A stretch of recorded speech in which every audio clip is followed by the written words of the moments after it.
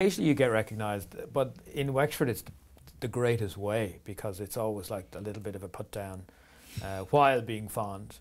And my favourite one of recognition of all time was I was walking down the main street in Wexford shortly after the first Artemis Fowl had become a hit, and I was feeling very proud of myself. And this little fella, I'd say he was like 10, he's lounging in a shop doorway and he says, uh, Will you look at your man and his books?